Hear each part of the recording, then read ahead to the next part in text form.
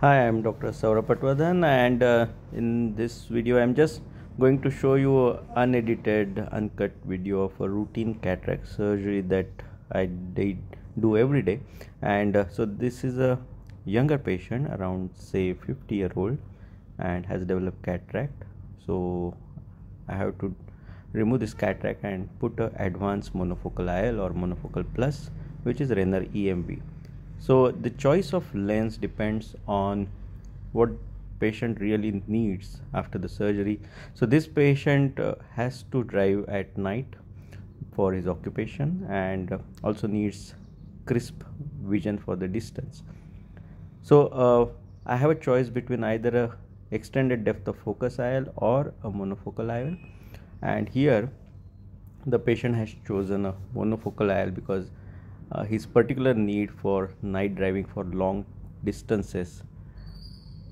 So we have chosen Rayner EMV because it's a monofocal plus IOL so where the there is some additional depth of focus say around 0.75 to 1.25 diopter which patient will be able to have after the surgery. So my routine steps as you have seen include use of Hylucoat which is like viscoat but more viscous. And I'm going to use the Haldipurkar forceps which is a cross section forceps to create a capsulorhexis of around 5 millimeters and which is you can see as I have centered it around the Purkinje image the central Purkinje image where the patient is trying to fix on the microscope light. So if the patient is cooperative it's really really useful when you're doing the capsulorhexis the first hydrodissection wave I do multiple and uh, I also rotate the nucleus in the with the same cannula.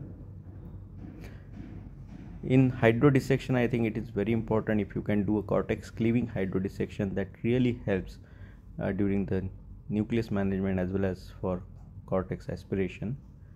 Now i'm waiting for the phaco probe to be ready i'm going to use my usual 1.5 mm long patwardhan's chopper. It's like a elongated Sinskey in the sense that it doesn't have a sharp tip or it doesn't have a ball tip like a blunt chopper as well. So it is some kind of a in between chopper. So i can do both horizontal chops with this or i can do vertical chops also with this. So either of the techniques can be used so that makes it more versatile.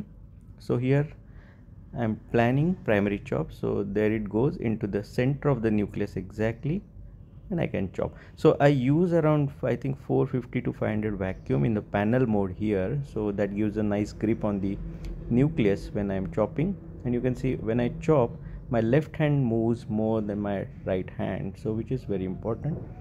I make sure I make at least 4 to 5 pieces and the last piece I try to pull it out uh, in the chop mode itself chop mode I am using only longitudinal power which is again very important for chopping. And now I have gone to quadrant removal. I am using 700 vacuum here with 45 fixed flow rate which makes the things very very very fast. And you can see within probably 10 to 15 seconds I can emulsify the entire all fragments. So the last fragment I think was remaining. So I go in again. Uh, it's important that I go in completely again so irrigation is inside before I remove that last piece otherwise if the irrigation is compromised in this step the PC might just come up and hit your phaco tip. As my assistant is shifting to the IA probe, so uh, just remember that the surgery need not be very hastily done. Every step you can see, I am giving proper time for completing each and every step perfectly. So it makes things in fact faster than if you hurry things up, hurry the steps. And you can see that when I'm doing the cortex aspiration I'm going from one part to other like in a swiping motion. So the entire cortex gets released from the equator and I can remove it without damaging the equator or the capsular rim. That's very important. And uh, also I uh, try to you know pull the cortex little down rather than only centripetally so that kind of cleaves the cortex from the bag without damaging the zonules or putting pull on the zonules i always use 1.4% hyaluronate for injecting the IOL the advantage is that it comes out as a bulk so the chance of remnant visco is less. And also the bag is well you know open. Now i am using emv toric and many times uh, surgeons have difficulty in injecting it because they tend to rotate it while the IOL is going in. You just have to keep it straight let that you know leading haptic go straight and then itself it will unfold in the bag. So it's very quick. And uh, it's a preloaded system so you don't have to worry about any other thing. Once it is in the bag i am going to remove. So just watch my ia probe going into the angles so that the Hylucoat which I have used initially I want to completely wash it off from the angles because angles are the places where I, we have not used much of phaco so the, these are the places where usually this Hylucoat stays even if you have done you know phaco for a prolonged time or aspirated lot of visco. So that these are the areas where I first move my probe around. And you can see from the bag I could remove it very quickly because it was 1.4% hyaluronate in the bag which is a cohesive OVD so it comes out in a bulk in single go. So the advantage of using these good OVDs is that not only you protect the endothelium also you completely remove the OVD at the end.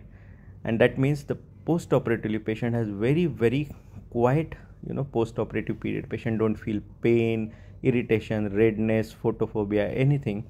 And that adds to you know the patient satisfaction because ultimately patients are happy not just with the vision that they get but also for with a quiet post operative period. More on my youtube channel. Thank you so much